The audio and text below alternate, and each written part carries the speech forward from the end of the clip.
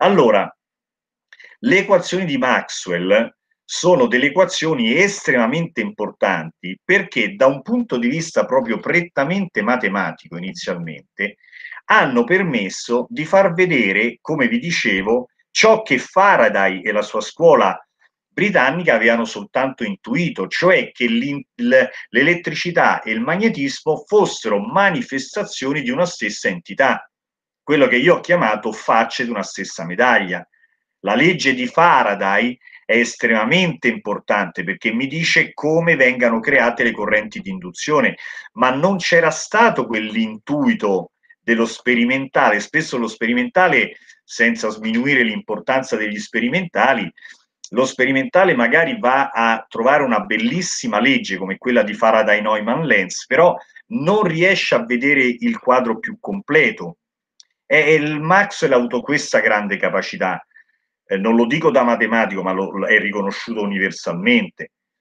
Cioè, lui da un punto di vista teorico riuscì proprio a far vedere che le proprietà del, dell'elettricità e del magnetismo eh, sono proprio simmetriche, cioè se c'è un teorema della divergenza di Gauss per l'elettricità c'è l'analogo per il magnetismo. Se c'è una legge di tipo Faraday-Neumann-Lenz, che è una legge del rotore, c'è dall'altra parte l'analogo che è la legge di Ampère. Cioè lui fece vedere queste analogie, benché stessimo parlando tra l'altro di due campi completamente differenti, perché ricordiamoci che il campo elettrico è conservativo e il campo magnetico no.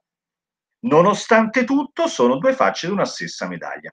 E la cosa veramente travolgente, scusate, ma su questo sono assolutamente di parte è il fatto che Maxwell dimostrò che l'elettromagnetismo si diffonde nello spazio come un'onda, come un'onda che viaggia alla velocità della luce. E noi faremo questi conticini adesso, ma sono veramente conticini. Adesso sembra un giochetto da ragazzi. Guardate che il libro l'ho scritto all'inizio, il libro spezzetta questa mia parte qui, allora, fermo restando che appunto non, non dite a nessuno che, che, che, vi sto spiegando queste cose su Wikipedia, però eh, voi qui quantomeno avete il vantaggio di averlo un po' più organico, ciò che il Bramanti Pagani Salsa un po' spezzettato. Allora, l'articolo di Maxwell del 1865, la prima verifica sperimentale circa la correttezza dei conti di Maxwell è nel famosissimo esperimento di Hertz del 1886, 21 anni dopo, e sono tanti, soprattutto quando una teoria è in continua evoluzione. Ricordatevi che l'elettricità nasce praticamente con Volta nel 1799, la pila di Volta, 1799. Quindi pensate che turbinio di ricerca, di sperimentazione e di teoria fatta nell'Ottocento. Bene, nell'86 Hertz riesce a creare con dei campi fortemente variabili, riesce a creare, a dimostrare l'esistenza delle onde elettromagnetiche. Le onde hertziane, lì per lì vennero chiamate. Le onde elettromagnetiche che oggi ci inondano, noi campiamo di onde elettromagnetiche, i cellulari, la TV, eh, il, il, il, wifi, sono tutte onde. E lo dobbiamo a questa intuizione di, di, di Maxwell confermata da Hertz e, chiaramente col fatto che per la prima volta si fossero ottenute le onde nell'86 comportò chiaramente il fatto che poi la, l'effettiva trasmissione delle onde elettromagnetiche eh, sia avvenuta eh, soltanto alla fine del, del, secolo e ve lo ricordo, i grandi, eh, per carità, è perché ogni, questo accade anche con tanti teoremi di matematica, no? che ogni nazione mette il nome di un proprio, c'è la famosa diseguaglianza di Cauchy, Bujakowski, Schwarz, per cui francese, tedesco e russo, no? Eh, spesso accade così. Popov in Russia fece gli studi che intanto stava facendo Marconi, Tesla il tanto misconosciuto visionario, però secondo me anche un po' pazzo, Tesla, tutti lavorarono. Il primo in realtà che riuscì a portare a, eh, a compimento gli studi fu Marconi, il quale, come forse già vi ho detto, praticamente fece in modo, ebbe l'intuizione che la ionosfera era in grado di far rimbalzare letteralmente, fa, fare da specchio alle onde, per cui praticamente Marconi fece un esperimento lanciando delle onde dalla Gran Bretagna verso Terranova che sta nel Canada o viceversa e dall'altra parte ricevettero il segnale e risposero abbiamo ricevuto il segnale. Fu il primo esperimento di trasmissione delle onde e Marconi diciamo ebbe questa grande intuizione, Marconi fu il primo premio Nobel per la fisica, ebbe questa grande intuizione del far sparare le onde elettromagnetiche, le onde radio, le onde radio addosso alla ionosfera che poi le aveva fatte rimbalzare, se no, se non ci fosse stata questa intuizione, come avremmo fatto a superare la curvatura della, della, della superficie terrestre? Va bene, veniamo alle leggi. Allora qui è molto discorsivo, quindi io mi limito soltanto a segnalarvi alcune cose. Questo qui mi dice, la legge di Gauss mi dice la relazione fra campo, un campo elettrostatico e le cariche elettriche che lo, che lo generano. Poi passeremo alla parte più matematica. Intanto ricordiamo queste, queste leggi. In pratica quello che accade è che se io vado a contare il numero di linee di, di campo che attraverso una superficie, questo mi dà la carica totale. Più la carica totale dentro un dominio, dentro all'interno di una superficie è grande, più le linee di campo sono intense. Quindi, come dice qua Wikipedia, contare le linee di campo significa capire quante cariche ci siano dentro. Questo è il significato praticone della legge di Gauss. Nel caso, nel caso del magnetismo, invece, vedete qua come sono le linee di campo de, del, del, campo, del campo eh, magnetico, vedete che tutte le linee di campo entrano ed escono, si richiudono, per cui quando io vado a considerare quante linee di campo entrano e quante escono, quelle fanno sempre zero. Il flusso delle linee di campo attraverso del campo magnetico attraverso una superficie è sempre pari a zero. E ricordate, lo, lo, lo, diciamo un altro modo, perché sennò vi anticipo già l'equazione di Maxwell, un altro modo di dire questo è il fatto, sono due facce di una stessa medaglia legate dall'equazione di Maxwell, è che il campo magnetico è un campo solenoidale, cioè la sua divergenza è uguale a zero. La divergenza del campo magnetico è uguale a zero. Va bene, questo ve l'avevo anticipato prima. La divergenza del campo magnetico è zero. E questo è legato proprio con il fatto che le linee di campo si richiudono. Poi c'è la famosissima legge di Faraday che mi dice che se prendo un campo magnetico variabile nel tempo, questo induce una corrente, quella che è chiamata proprio corrente indotta, la corrente indotta da un campo magnetico variabile. Su questo meccanismo si basano le, le dinamo, si basano i motori, si basano i generatori di corrente elettrica. La cosa interessante è che la corrente elettrica, col fatto che viene indotta, crea un campo elettrico. Quindi c'è un campo magnetico variabile che crea un campo elettrico. E quindi vedete che lego l'effetto di un campo magnetico con l'effetto di un campo elettrico. Ecco, vedete, lo dice anche qui. Questo è il principio, la legge di Faraday-Neumann-Lenz sta alla base del funzionamento dei generatori elettrici, mi pare poco. L'ultima legge è quella di Ampère, molto interessante perché Ampère praticamente la studiò nel caso di un campo elettrico elettrostatico, non variabile nel tempo. Invece Maxwell, da un punto di vista, lo ripeto, rigorosamente matematico, si accorse che se voleva mantenere la, eh, la simmetria delle equazioni, aveva necessità matematica di introdurre nel caso di campi elettrici non stazionari, quindi variabili, quella che è chiamata l'elettrodinamica, L'elettrostatica è quando il campo è statico, quindi non varia nel tempo. L'elettrodinamica è quando invece c'è variazione del campo elettrico, introdusse quella che è chiamata la corrente di spostamento.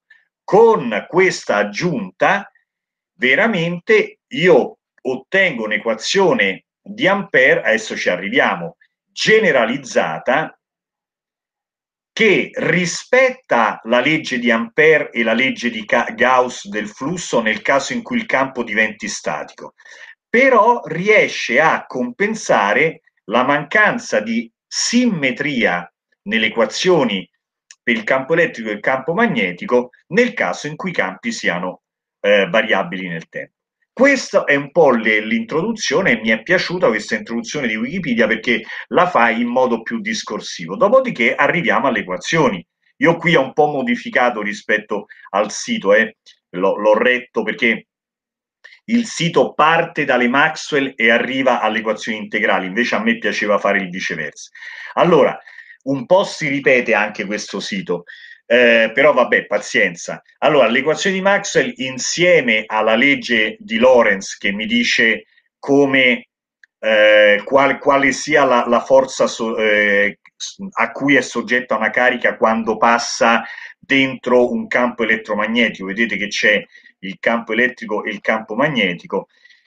La legge di, Q, di, di Lorentz messa insieme alle, alle leggi di Maxwell mi dà l'elettromagnetismo classico. Poi faremo alcune osservazioni lì dove arriveremo a le, a, a, a tirar fuori le equazioni perché è chiaro che poi ci sono tanti sotto sottocasi, lasciando perdere la meccanica quantistica, cioè l'elettrodinamica classica non funziona a livello di atomi perché lì entrano in gioco tutte, alt- tutte altre leggi.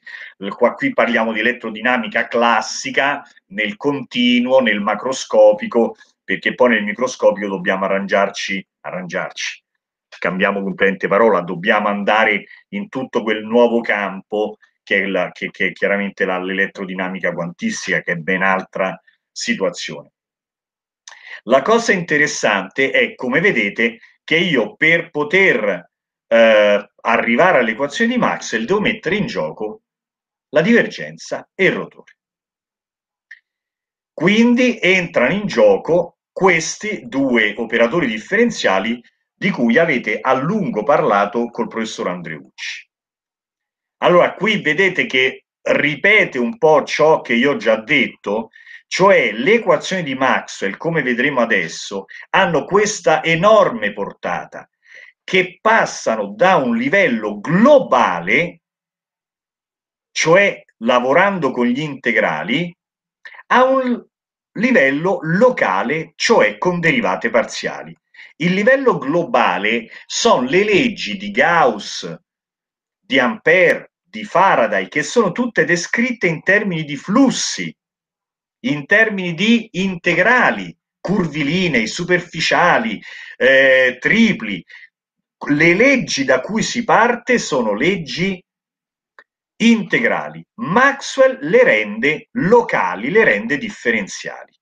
E allora quello che mi piace farvi vedere è come ci si arrivi. Allora qua eh, il, la pagina di Wikipedia richiama velocemente due teoremi, il teorema della divergenza detto anche di Gauss, che mi dice che il flusso di un campo, qui, ci leggo no, il prodotto del campo per la normale esterna, quindi il flusso di un campo attraverso la frontiera di un dominio che Wikipedia indica con V è uguale all'integrale triplo sul dominio della divergenza del campo, va bene? Qua, sia perché Wikipedia non mi ha fatto fare il taglia e incolla delle formule, purtroppo, sia perché le ho volute un po' riscrivere in modo, diciamo, più consono a quello che dovessi scrivere io, le ho fatte miseramente a mano, ma spero mi perdoniate. Il teorema del rotore, invece, che cosa mi, mi dice? Mi dice la relazione fra il flusso del rotore di un campo il flusso attraverso il rotore, eh, scusate, il flusso del rotore di un campo attraverso una superficie con bordo, attraverso una superficie con bordo, è pari alla circuitazione del campo lungo, la lungo il bordo della superficie. Quindi io vado a vedere quanto sia il flusso del rotore di un campo attraverso questa superficie che non è chiusa, che è a bordo, bene, il flusso del rotore del campo è uguale alla circolazione del campo lungo il bordo. Guardate che se voi è facile da verificare, no? penso l'avrete anche fatto, quando voi prendete il flusso del rotore attraverso una, una superficie chiusa, questo è sempre zero. Una volta capitò eh, nel mio corso un esame di questo genere, Cal- calcola il flusso di questo rotore complicatissimo attraverso questa superficie chiusa. Allora, lo studente che ha studiato queste cose lo sa e non fa neanche un conto. Perché il flusso del rotore, apriamo una piccola parentesi, perché il flusso del rotore attraverso un dominio, scusate, attraverso la frontiera di un campo, non attraverso il, il bordo di una superficie, ma attraverso, scusate, ho detto male, il flusso un, del rotore di un campo non attraverso una superficie con bordo, quindi una superficie aperta in un certo senso, ma attraverso una superficie chiusa. Perché viene zero? Perché la superficie chiusa è sicuramente frontiera di un dominio tridimensionale. Qui c'è tutto un gioco fra frontiere e bordi. Io prendo il flusso attraverso una superficie chiusa, quella è frontiera sicuramente di un dominio. Ma allora applico il teorema della divergenza che mi dice che il, il flusso di, di un vettore attraverso una superficie frontiera di un dominio è uguale all'integrale triplo della divergenza di questo campo. D'accordo? Eh, però attenti, la divergenza di un rotore è sempre uguale a zero. La divergenza di un rotore è sempre uguale a zero. Quindi quando voi state calcolando il flusso di un rotore attraverso una superficie chiusa, quello viene sempre zero. Quello viene sempre zero.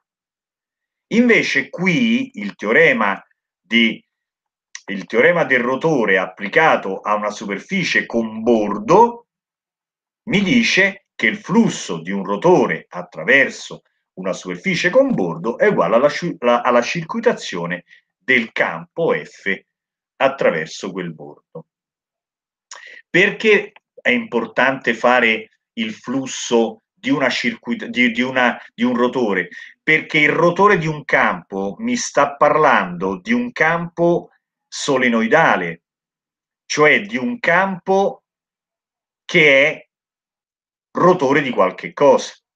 Quindi è molto importante perché, ve lo ripeto, il campo magnetico è un campo solenoidale, quindi io qui dentro ci sto leggendo comportamenti legati al campo magnetico. La legge di Faraday-Neumann-Lenz mi, mi riguarda il comportamento del campo magnetico. Ecco perché è così importante questo teorema del rotore, ma anche penso a quelli di voi che dovranno parlare della, delle, delle equazioni di Navier-Stokes, della fluidodinamica, e voglia lì ad avere i rotori perché i vortici di un fluido sono legati ai rotori.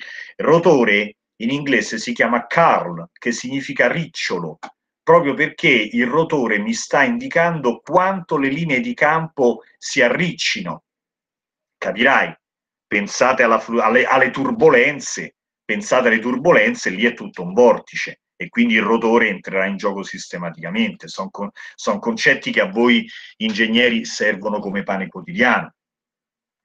Poi arriviamo, eh, eh, scusate, quindi a questo punto adesso vediamo di applicare il teorema della divergenza il teorema del rotore alle quattro leggi della, eh, elettro, dell'elettromagnetismo. Cominciamo col teorema di Gauss. Che dice il teorema di Gauss? Che il flusso del campo elettrico attraverso la frontiera di un dominio è uguale, è pari al numero di cariche presenti dentro quel dominio. A meno di questa che Wikipedia chiama permittività, io la conosco come costante dielettrica del mezzo, chiamatela come vi pare, ma insomma è la epsilon che compare sempre. Il flusso di un campo elettrico attraverso la frontiera di un dominio è pari alla quantità di cariche, è proporzionale, ecco, è proporzionale alla quantità di cariche presenti nel dominio. Questo mi sembra sensato, no? Più ci sono cariche, più il campo elettrico è potente, no? Questo mi sembra chiaro. Come la scrivo io la carica elettrica, come abbiamo detto prima, è l'integrale triplo della densità di carica. Magari la densità di carica non è uniforme, ne calcolo l'integrale triplo. Quindi da questa parte ho un integrale triplo. Adesso voglio far comparire un integrale triplo anche a primo membro. Che cosa sfrutto? Sfrutto il teorema della divergenza che mi dice che il flusso del campo elettrico attraverso la frontiera di V è uguale all'integrale della divergenza del campo. Ecco qui che applico il teorema della divergenza, il teorema di Gauss.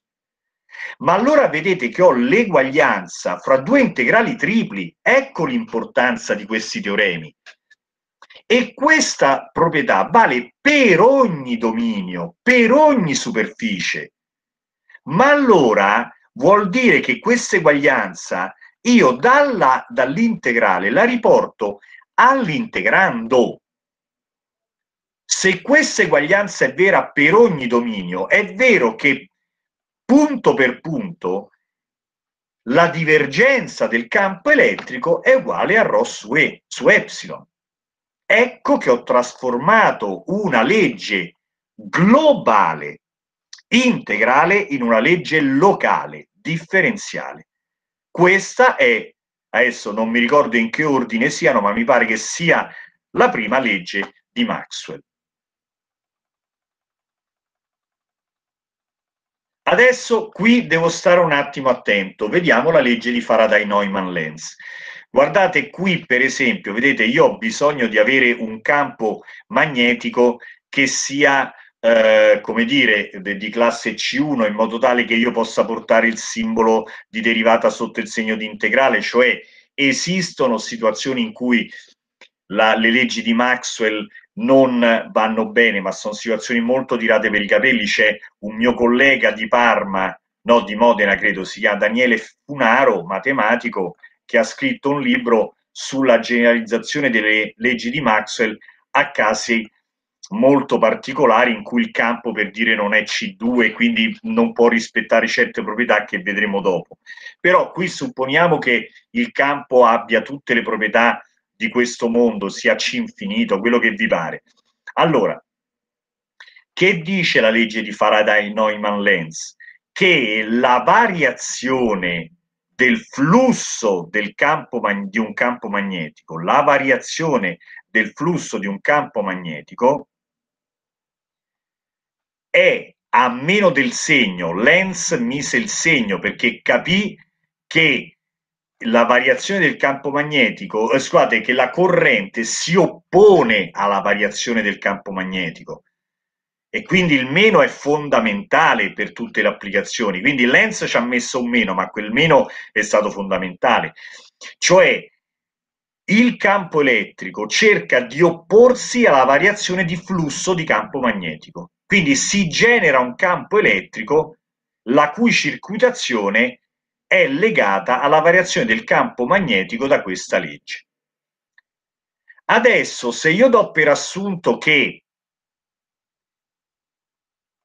il volume, la superficie su cui io sto calcolando questa, questo flusso non cambi, quindi che la, la, la normale esterna non cambi, la superficie deve rimanere costante perché se anche la normale esterna eh, cambiasse, capite bene che io dovrei calcolare la derivata parziale rispetto al tempo di b per e, perché anche di b per n, perché anche n varierebbe nel tempo, no? b cambia nel tempo e lo so, ma se la superficie cambiasse cambierebbe anche la normale esterna, quindi mettiamoci in un'ipotesi tranquilla, la superficie non cambia, quindi la normale esterna non cambia e quindi quando vado a calcolare la derivata calcolo la derivata soltanto di b.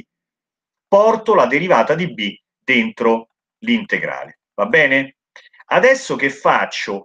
applico il teorema di Stokes a questo primo membro. Qui ho già l'integrale superficiale su questa superficie che ha come bordo ds. Applico il teorema del, del rotore a questo primo membro. E quindi che mi dice il teorema del rotore? Che la circuitazione di E sul bordo della superficie è pari al flusso del rotore di E attraverso la superficie. Ecco l'applicazione del teorema del rotore. Passo dalla circuitazione di E, campo elettrico indotto dalla variazione del campo magnetico, passo all'integrale superficiale. Questo deve essere vero per ogni superficie che abbia ds come bordo. Sapete bene che ogni superficie ha un solo bordo, ma una curva chiusa, pensate alle bolle di sapone proprio, una curva chiusa può essere bordo di infinite superfici. Proprio pensate a quando soffiate per creare le bolle di sapone, no? Voi ne create tante di bolle di sapone, c'è una bolla che piano piano si estende, ma il bordo è sempre quello. Quindi una superficie con bordo ha un solo bordo, ma un, una, super, una curva chiusa può essere bordo di infinite superfici. Questa legge deve valere per ogni superficie che abbia come bordo ds, ma allora di nuovo questa eguaglianza deve essere vera quando gli integrandi sono uguali tra di loro. Ed ecco che salta fuori, questa non me la ricordo mai, questa credo sia la quarta legge di Maxwell, ma non ha importanza adesso chi sia prima, seconda, terza. Vedete, attenti, guardate come lego elettricità e magnetismo, guardate la potenza di questa. Qui io sto dicendo la divergenza di E è uguale, è legata alla presenza di cariche, basta, qui c'è solo E, qua E viene legato a B, cosa che non è che fosse nuova, eh, perché Lenz, Faraday, Neumann, Lenz l'avevano capito, no? E la, la loro grande scoperta erano state correnti indotte. Vedete, io sto dichiarando che la variazione nel tempo nel campo mi crea il rotore del campo elettrico. La variazione nel tempo del campo magnetico è legata al rotore del campo elettrico. Adesso vediamo se ho tempo di fare le altre due leggi, poi ci fermiamo. Allora, nel caso invece della legge di Ampère, come vi dicevo, eh, Maxwell ha esteso la legge di Ampère al caso di eh, un campo eh, elettrico che non fosse stazionario. Nel caso in cui il campo è stazionario, Ampère dice questo, dice che il campo magnetico generato da una corrente passante attraverso una certa curva, no? il tipico disegnetto che si fa anche alla scuola superiore è questa, no? di questi fili percorsi da corrente.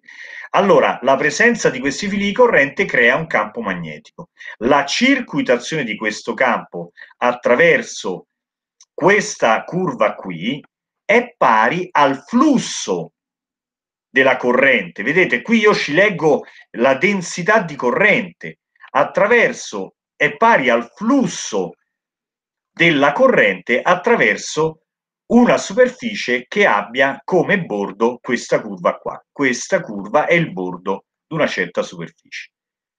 Quindi la circuitazione del campo magnetico, eh, sapete la circuitazione di un campo è legato al lavoro, no? Quindi il lavoro del campo magnetico è pari alla intensità del flusso della corrente attraverso la superficie che ha questo ds come, come bordo.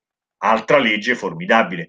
Un caso particolare è proprio la legge di Biot-Savart di cui vi ho parlato prima. Allora, che cosa disse eh, Maxwell? Maxwell disse, ma guarda, questa legge è vera quando il campo è statico. Se il campo non è statico, quella legge non è più vera. E allora lui disse, beh, ma io dovrò considerare anche la variazione del flusso del campo elettrico attraverso la superficie. Non dovrò considerare soltanto il flusso della corrente, siccome il campo cambia nel tempo, allora io ci dovrò mettere anche un termine che mi dice come stia variando il flusso del campo elettrico attraverso quella superficie.